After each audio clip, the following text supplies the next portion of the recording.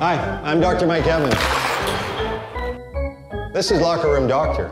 Basically, a doctor in a locker room answering questions your grandfather never would have asked. Look how it worked out for him. Our target is this fine gentleman.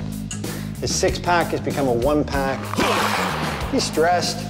His joints are breaking down. He works too hard, plays too hard, hair is going gray, or maybe he's losing it completely. His marriage is crappy, or fantastic, or somewhere in between. He may have high blood pressure.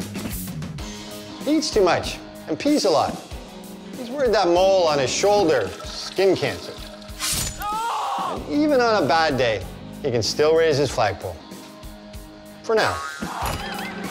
A few hours a week, he's at the hockey rink, a basketball court, maybe the gym. He spends more time with his teammates than he does his best friend. But he doesn't even know their last names or what they do. Hi, Mike. Hey, bud.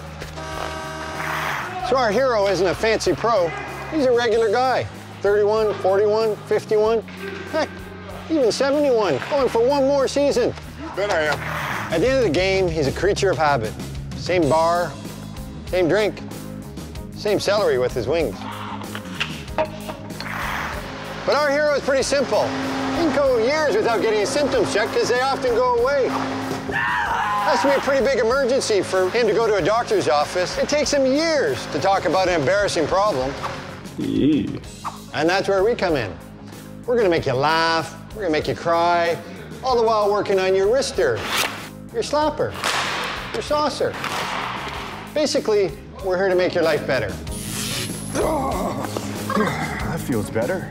And that's it.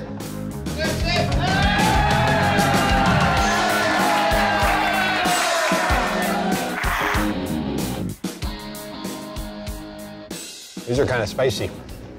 Yeah, like your wife.